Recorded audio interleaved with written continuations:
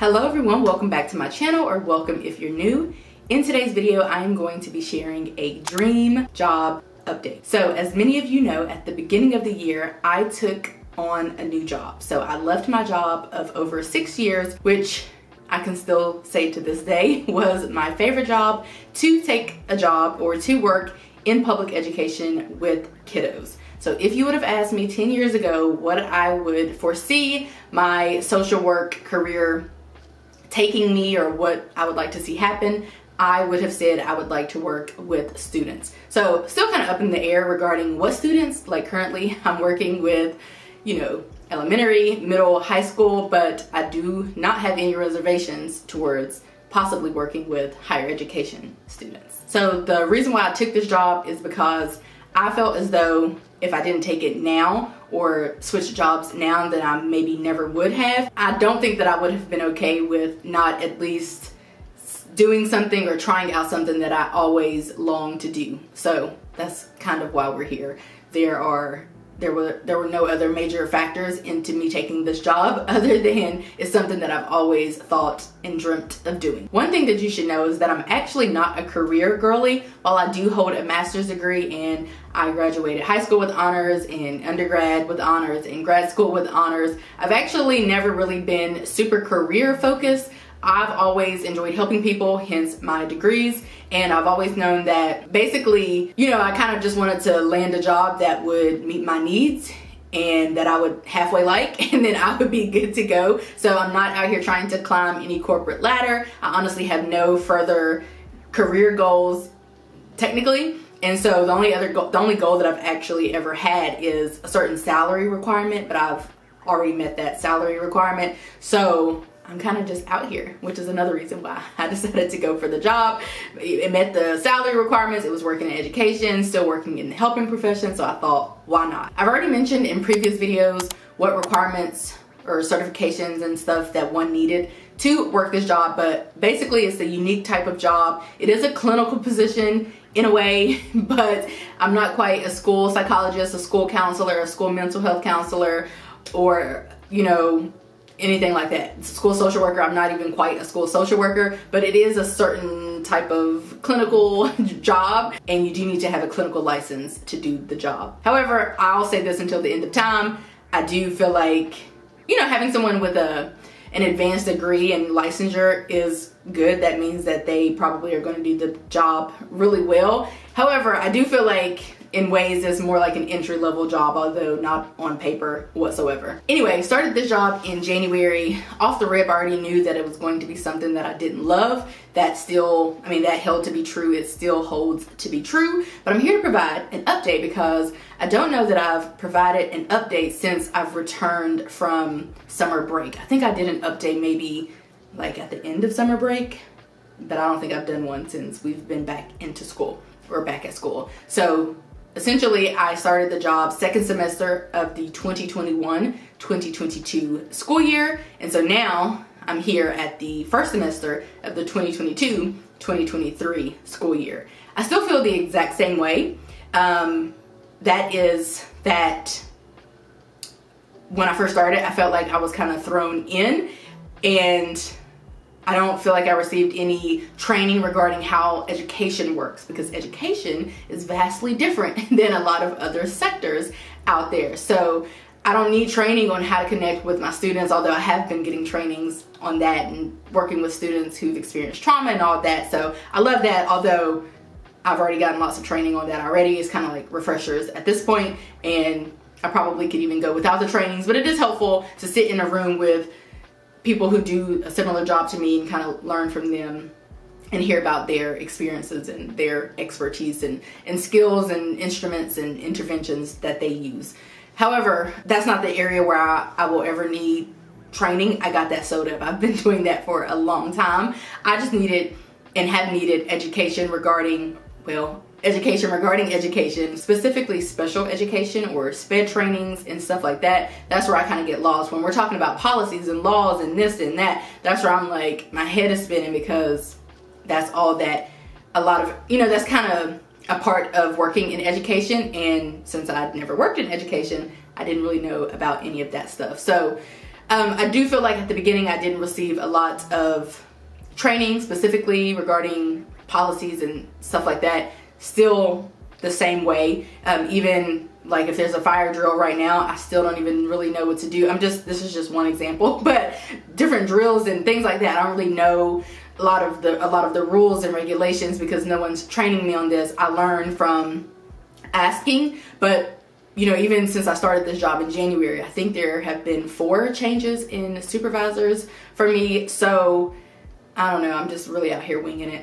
I've decided that I just am gonna have to convince myself that I'm doing a good job and measure that by how my students are doing and how they're responding, especially in sessions. And that's just gonna have to be enough because otherwise I don't really know if I'm doing a good job. No one ever tells me. I don't, you know, no one's ever shadowed me or sat in a, in a meeting with me or any of those types of things. And I think that was probably what was new to me. I think maybe a couple days into the, into the job, I had a meeting and I don't know, I just felt like that would have been a good opportunity for someone who knew what they were doing or a supervisor of mine to kind of sit in that meeting and help me to navigate it because otherwise I just was sitting in there looking crazy, which is what I did. so shout out to the other ladies who do this job because I get all of my questions answered from them. And I will say, I've never had a clinical supervisor, so nobody's there to supervise me clinically.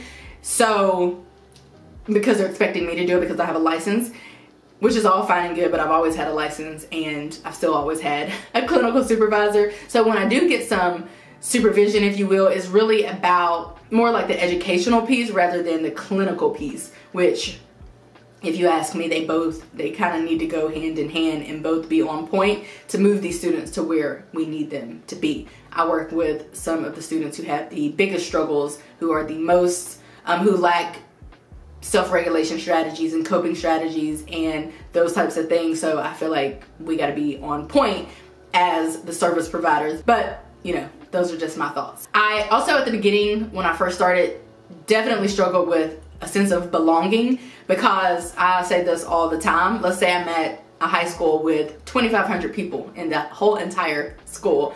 I cannot look to the left, right, front, back, anywhere and find a person who does my job. Why? Because there are only five of us and we work in different zones. So I go months without seeing my coworkers or hearing from them or whatever. So it's very weird to just be in a space where if you look in any direction, there's no one who does the same job as you. Even my supervisors have not done the same job as me or don't do the same job as me. So it's very weird in that aspect. Similarly to the belonging thing, I don't feel really connected and that can be a lot of for a lot of different reasons but in the beginning I definitely didn't feel connected. Now I feel more connected but I'll never feel as connected to this job as I have to any other job that I've ever worked because I've worked for nonprofits and you know those types of things and there. We just operate completely differently than the education system which is to be expected. So in my sharing, my updates, it's just me sharing. I feel like this is how the public school system works. That's just that. I mean, there are what like, I mean, I would go to work at my previous job, let's say, and there might be 30 staff members and we all are talking and collaborating throughout the day with the same goal and mission in mind. We are all following the same policies and procedures and all of that. However, with the public school system, again, I could walk into a building and there might be 300 staff members. You know what I'm saying? So there's, I'm never even gonna, it's just weird to me to not know every staff member, to not at least be cordial with them. I mean, I'm having an event this weekend and I'm inviting my previous supervisor, my previous coworkers. I still go and go to lunch with them and go to other outings and stuff with them. It was just like a closer knit type of thing previous job, same thing, previous job, same thing, previous job. We used to have slumber parties. Like that's how close we were. So I'll, it'll always take some getting used to this type of large, I mean, it's huge and it's not just my district where, you know, the public education system is everywhere. So it's tons and tons of different systems and it's a lot. So that part will always be new to me and I'm sure something I will never, ever get used to. But essentially, all in all, those I feel like were my, those have been my largest struggles. They're kind of like the helicopter struggles. Those are the things that are always, you know, uh, flying above my head, if you will. I'm all about prevention and even restoration, and that's just just gonna be that. That's just all that I know. That's all that I believe in, if I'm being honest. So, because there isn't a lot of that in the public school system or in my district, I guess it it just doesn't align with what I believe in too much. You know what I'm saying? So, I don't know. It's a lot. I say this all the time. There are probably like 200 yellow flags and maybe like 10 red flags and a few green flags and if I'm here to report on the green flags, the things that I love is working one-on-one with my students. Absolutely love it. In fact, if all I did is go to work and meet one-on-one with my students, then that would probably fill my bucket. Love that, green flag. I love, so not only just meeting one-on-one with clients, I love working with children just in general, so that's a green flag. And I also like the schedule and how you know, everybody's pretty much gone from any school by 3.30 at the latest. You know what I'm saying? As opposed to working my 9 to 5 or some of my other schedules that I've worked or shifts. So I do love that. But those are kind of like the primary and only, really the only green flags. Everything else falls in the yellow and the red. So on a scale of 1 to 10, 1 being hate the job, 10 being love the job, when I first started the first week, first couple weeks, I probably was at a strong three. A couple months later, three and a half, four. At the end of the previous school year, May, June, around there, I would would say I was probably at coasting at like a three and a half, four. And now being back from summer break and all of that, I'm probably at, I will say a five, maybe like four and a half to five, because I do feel like it's tolerable. I feel like I do have enough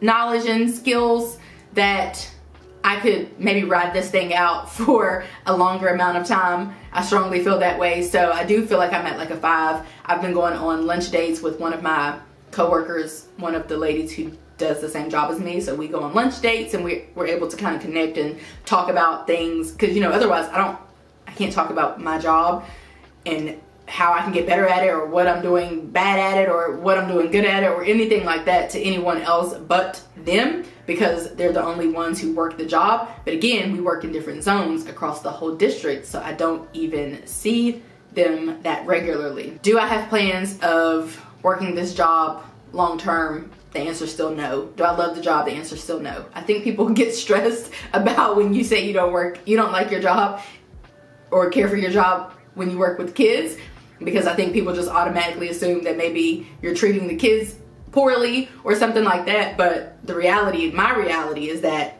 my kids would never know anything about if I love the job or don't because the version of me that they get is the greatest version that anybody will ever get. Meaning that my current clients, my current students, are getting the best version of me as a clinician that anyone else has gotten before me. So over the past 10 plus years that I've been practicing, no other student or client has gotten this version of me. I'm the most trained, the most clinical, the most knowledgeable, the most educated that I'll ever be. Like in this very moment, I'm the best that I can be or the best that I will be in, in this very moment. Of course, I can go on and, and learn more and get more educated and more knowledgeable and all of that. But currently in this moment, I'm the best version of a clinician that anyone of my clients anyone that I've ever worked with has ever seen. So they get the best version of me. I show up daily for them. I love it. Love, love, love, love, love it. I strongly believe that every adult has to play a role in the lives of children because these children are our future. So it's all of our jobs. Every single adult that comes in contact with a child is our jobs to instill in them the skills that they need. And you can do that without stepping on toes or acting like a parent or whatever the case is. It's our job to instill confidence and self-esteem and self-worth and knowledge and wisdom. I truly believe that. And so that's really what compels me to even do this job because I know that I do a good job at it. I have a great relationship with 99% of my students and working one-on-one with my kids is something that is not going to be getting any complaints from me because I love it and I love the students that I work with and the relationships that we have created and we do some really good work. We do mindfulness activities.